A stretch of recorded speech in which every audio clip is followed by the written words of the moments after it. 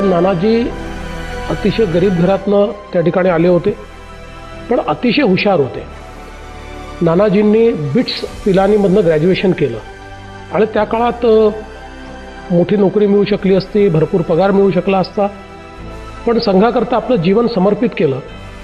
सुरुवातीला वाशिम जिल्ह्यामध्ये संघाचे प्रचारक म्हणून जिल्हा प्रचारक म्हणून त्यांनी काम केलं आणि त्यानंतर त्यांना उत्तर प्रदेशमध्ये पाठवलं आणि उत्तर प्रदेशमध्ये संघाच्या विस्तारामध्ये ज्या प्रमुख लोकांचं मोठं योगदान मानता येईल त्यातले एक नानाजी होते.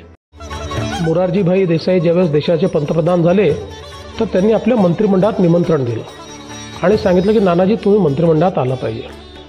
नानाजींनी मोरारजीभाईंना सांगितलं की माझं काम हे संघटन आहे. व्यक्ती निर्माणाच्या कामात मी काम करतो आहे आणि पलीकडच्या काळात ग्रामविकासाकरता मला माझं संपूर्ण जीवन द्यायचं आहे त्यामुळे मी मंत्रिमंडळात येणार नाही. मी माझं जे काम आहे तेच काम मी करत राहील भारतीय राजकारणात आणि समाजकारणात शुचितेचे प्रतीक म्हणून त्यांना राष्ट्र ऋषी नानाजी देशमुख या नावानं संबोधलं जातं.